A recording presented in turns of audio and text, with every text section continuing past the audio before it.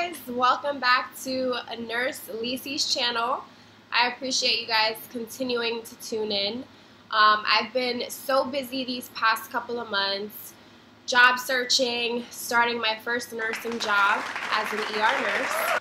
Um, so I've just been really busy and I have not had any time to come on here and do a video, which I'm so sad about because a lot of people have been reaching out to me asking me um, to continue um, this process of sharing um, some motivation and inspiration in the nursing field. So today we're going to chat about five ways to be successful in finding your first nursing job. So let's get right into it. know that the new grad struggle is not only overcoming the NCLEX, but also searching for your first nursing job, which can be really challenging, especially being so novice and not knowing um, much of the clinical aspect of things. So um, it can be really challenging, very stressful, intimidating. Um, for me, I feel like it was all of that. It was very stressful.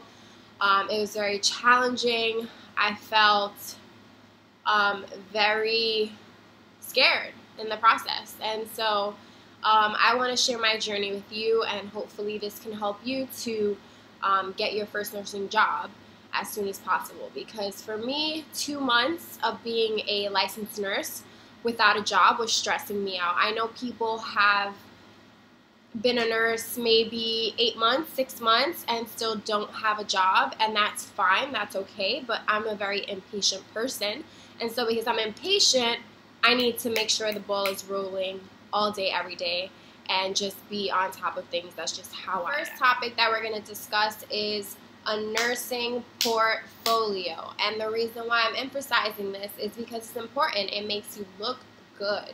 Okay, so you should have a nursing portfolio. Yes, a resume is cool and a cover letter is okay.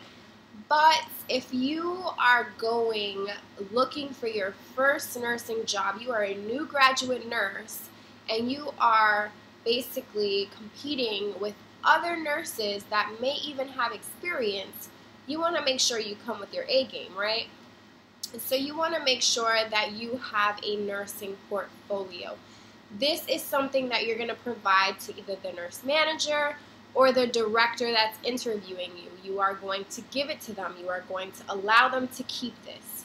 And this is to represent you, you know? So I have a nursing portfolio here that I designed myself. And I bought these little plastic um, folders, I guess. And I basically just put together a nursing portfolio. So here I have um, my name and a little bit about me. And then the second page, I have a resume. As you can see, I have a resume of all the things that I've done. And then following that, I have my nursing license copied and put in here. Following that, I have my BLS, okay? I have that BLS in there. I was supposed to take the ACLS and PALS course before I started my interviewing process. However, I became super lazy and I didn't take it. But however, I am an emergency room nurse, so I do need to take it within the year. Okay, so I will be getting those certificates, but at the moment I didn't have it, so I just posted that in there. But once I get it, I'll just put it under here. Not that I need this anymore, but a good way to do this is making your copy of your certificates and putting them in here. So your PALS, your ACLS, your BCLS or BLS, and your TNCC or CEN, in my case, those are the two that I'll be taking. And then following that, I have some recommendation letters, okay? Recommendation letters are important. So I have two in my portfolio. I have one from a clinical um, instructor from my school, and then I have one that was a nursing educator where I used to work. I used to work in a hospital as an emergency room technician, and my nurse educator, she, uh, you know, she recommended me and she typed it up for me, so she gave it to me. Following that, you want to put your unofficial transcript. So they know the type of student you are. If you're showing that, you know, you have a good GPA, you're showing that you're a responsible student, you make sure that you're on your academics and you make sure you do it in the best way you can. So I think it's important that you put that in there. And so this is my degree. I have a degree here of my nursing degree. Following that, I have my second degree, which is a bachelor's degree in psychology. And then, following that, I just have things that make me look good. So here I have my Sigma Theta Tau International Honor Society of Nursing certificate. I put that in there because only special people get in. No, I'm joking. Uh, you just have to have a good GPA. Then I put here, I got third place for my PICO project. My, and then lastly, where I used to work, which was Mount Sinai, I um, was given a certificate of being a star um, and just providing that great patient care. So I put that all in here, and all in all, I give this to the person that's interviewing me. It is theirs to keep. I will not be taking it back. So that is definitely something you need to invest in. Take your time and put it together and make sure that it's going to represent you and you're to go in there and feel a little bit more confident. What we're to chat about is LinkedIn. Whoop, whoop, whoop. Excuse me, I needed a drink. LinkedIn. LinkedIn is to be your best friend. LinkedIn is that app that has a six on it LinkedIn is going to be your best friend. Please, if you do not have a LinkedIn, invest in making a LinkedIn. It is important, especially being a new graduate nurse. Make sure you have a professional picture on your profile because, again, this is representing you. Um, and basically, it's just literally a profile, professional profile of you, what you do, what associations you were part of, what school you went to, what um, jobs you've had, what uh, certificates or license you currently um, hold. LinkedIn is going to be your best friend. I still use my LinkedIn today. Sneezed my butt off and my nose is like completely red right now.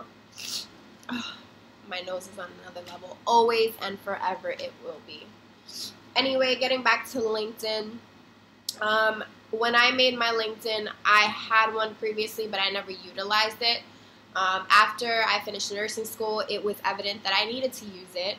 Um, this is the way that I was going to make connections with um, people that matter, like human resources, talent acquisition, um, nursing managers, directors, so on and so forth. And I must say that most of um, the interviews that I had or actually, I've only had three interviews, but after I got my job, I started to get a lot of interviews, and most of them were coming from LinkedIn. Um, I would say when you make your LinkedIn account, type in the search engine nurse manager or talent acquisition nursing or um, type nursing director or type nurse, whatever. Just type and follow, follow, follow, follow, follow. Make sure you put the hospitals that you want to um, apply to. Like, let's say, for instance, you're in New York City, such as myself, and you want to apply to NYU Langone. So you would type in the search engine NYU Langone, and many people from that institution will pop up, and their title would be right under it. So it'll be like works at NYU Langone, nurse manager, or nursing director, or talent acquisitions, or whatever. It will tell you what they do. Follow, follow, follow.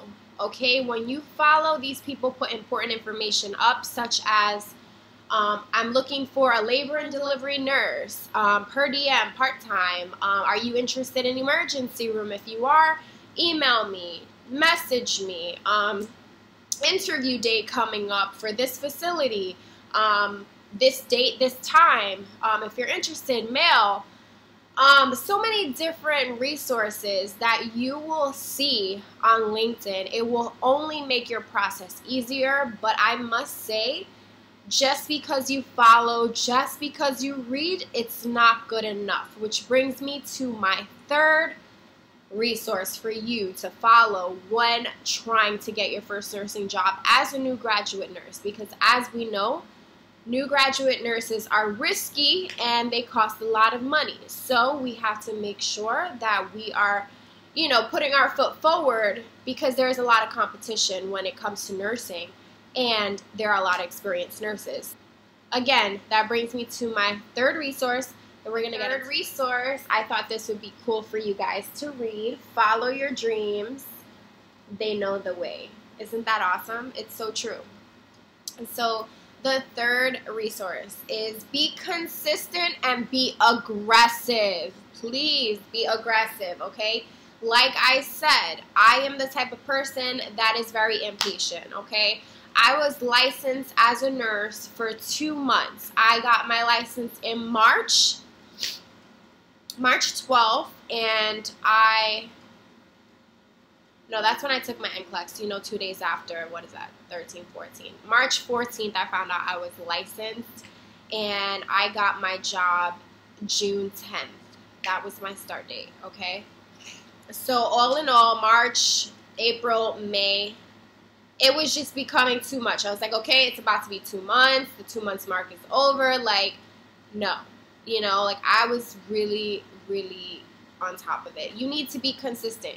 You need to make sure that you're applying to the facility you want to work at every single day. I was on the computer every single day after me getting my license applying. I didn't care what position it was that I was applying for, I was applying.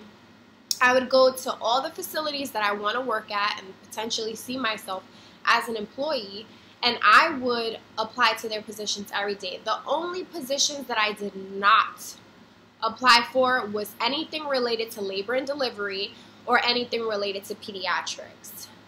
I am just not interested. Um, I did enjoy my peds and maternity rotation. However, my interest is in geriatrics. I love my old people. I love adults. I um, I find it to be very saddening to see kids or babies sick. Um, labor is beautiful, but it's just too personal for me, and I can't see myself doing that every day. Um, you like what you like, and that's just that's okay, you know.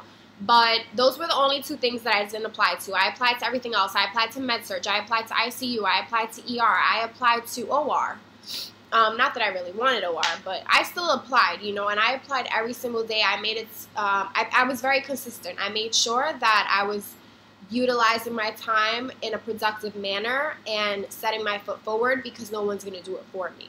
So be aggressive. I don't mean go crazy and be like, hey, I deserve this job. Like, you know, I just graduated with a 3.7 GPA. Like, how could you not give me this job? You, I'm not talking about that aggressive.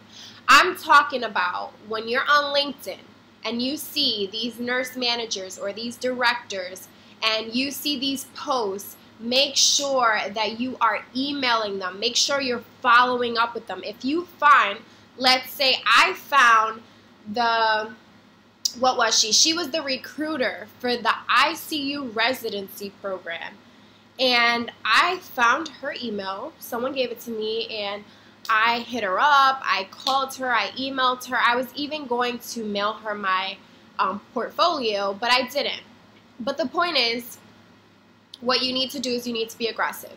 You need to email these people, introduce yourself. Hi, my name is Alecia, and I am a new graduate nurse, and I'm very interested in the critical care area of nursing, and I am wondering, do you have anything open? Are you looking for anything?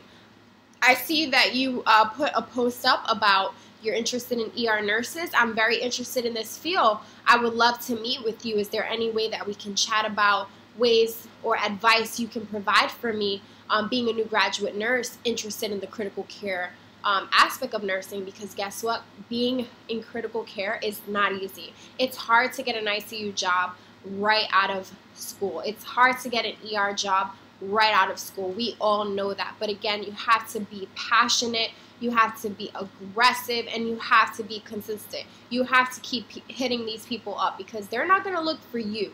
You have to look for them. So you have to consistently be aggressive and make sure that you make yourself known. And another thing to aggression, you need to make sure you're putting yourself out there and you need to be a part of an association, whether that be the Nursing Honor Society, Sigma, or let's say me, I'm a part of the Association of Hispanic Nurses, okay? And when I go to these associations, guess what? There are resources. There are people there from talent acquisitions. There are people there that are looking for employ, you know, potential employees. Like you have to be aggressive. Become part of an association you're interested in, critical care, emergency, um, if you're African American, they have the Association of his of Black Nurses, Hispanic nurses, Asian nurses, Pacific Islander nurses. They have all type of associations. You have to be aggressive. You have to make sure you put yourself out there. You have to socialize. You have to network. No one likes it. It is what it is. But guess what? At the end of the day, if you want a job, you need to work. On to my fourth resource, making connections in either the hospital you currently work at or the university that you are attending. In my case, I was working at a hospital and I made tremendous amount of connections with nurse managers. Again, I made it my duty to introduce myself to them, provide them with my portfolio, and tell them that I'm interested in critical care. I did this to two ICU nurses, and um, I was provided the opportunity to interview, uh, one on the telemetry unit and one on the MICU. However, I already had taken an offer with the emergency room where I was happy to be. And so my point is that you need to take the time to get to know people in the university that you're currently attending because guess what? You're in nursing school. So who's teaching you? Nurses. Nurses know nurses. So you have to again, become part of associations, get connected to your professional um, instructors, and hopefully they can help you and guide you um, and make the process easier for you once you become a new graduate nurse with a license. Um, if you're working at the hospital, even better, you're getting experience with patient care and you're learning skills. And so, again, making it known that you're in nursing school, making it known that you want to be a nurse here, and making it known that you want to connect with them to get the opportunity. Okay, so that is the fourth resource, and let's go on to five. The fifth resource, the last resource for you to utilize for you to get your first nursing job is practice interview questions with a friend. With a friend, a boyfriend, your family, it doesn't matter. You need to practice these questions because I will guarantee you that if you have, like, let's say, a pre made up sentence for, like, so why'd you choose our university? It's going to help you a lot. For me, they asked me, so why this place, why that place? And I literally had a pre made sentence perfect for why I want to work there. So practice your questions, make sure that you um, say it in a professional manner and in a professional tone. Um, and it will help you to feel a little less stressed and anxious because either way, you're going to feel 100% anxious, 100% nervous, and 100% stressed out because at the end of the day, their decision relies on your future. So, you're going to be stressed. But anyway, long story short, practice with your friends and use Google. Use Google to put in med surg interview questions or the facility, let's say NYU Langone um, interview questions, and Glassdoor will come up with different questions. But please, please, if you are going into a specific field, make sure that you educate yourself in that field. So for me, I was lucky enough to get this position. However, I walked into the interview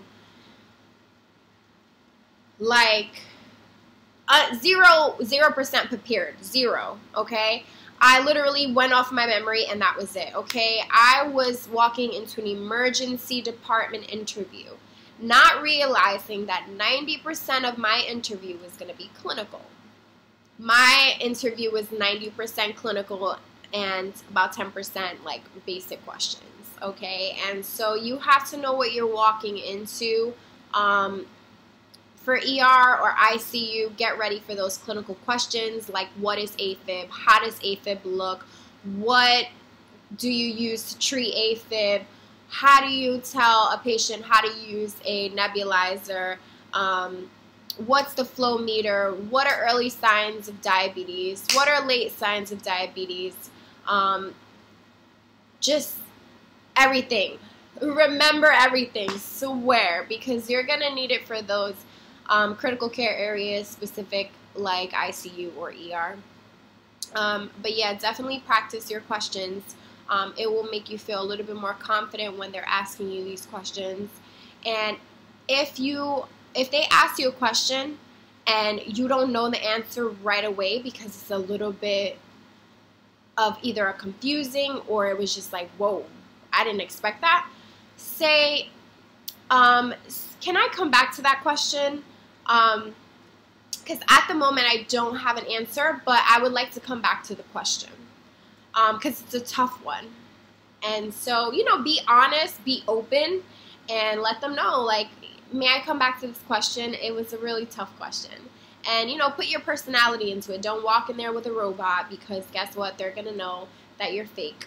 And nobody wants anybody fake around them. So be honest, be open, and be yourself. I think that's like important also. But definitely practice those interview questions. chat about my experience um, when it comes to looking for a new nursing position because everyone knows that it's just such an obstacle, especially being a new grad, because you're pretty much nobody. Like, let's just face it. Like, and what pissed me off the most was in nursing school, they tell you, oh my God, nursing is so in demand. Um, once you finish nursing school, you're going to get a job right away. And everyone needs nurses, and no matter where you go, you're going to be employed. And boy, oh boy, how I really took that by heart and I was like, oh, okay. So then when I become a nurse, like I should be getting phone calls left and right, left and right, left and right. Oh, hell no, honey, it's not like that. So I had a total of three interviews. My first interview was a psych interview, and that hospital was like a Brooklyn hospital, a community in Brooklyn. And I did it for the experience. I wanted to experience how nursing interview interviewing would be. And so I went there not really wanting the job, but just wanting the experience. And that's fine. If you want to do that, you can do that because at the end of the day, you have to put yourself in certain situations. This way, you get better at dealing with them. And so I you know, I went to that interview and I had an amazing experience. I felt it felt very natural to me, but again, I think it felt very natural to me because I didn't care if I got the position or if I didn't get the position. Um, anyway, long story short, um, it was an inpatient psych um, position, and it was Monday through Friday, eight hours, and that was something that totally did not interest me because I am so freaking okay with the three days, 12 hours. I love that. And I think that's one reason why nursing is amazing because it's so flexible. Um, so that Monday through Friday, eight hours, wasn't something I was interested in. But anyway, again, I used it for an experience. Long story short, I got the position and I rejected the offer.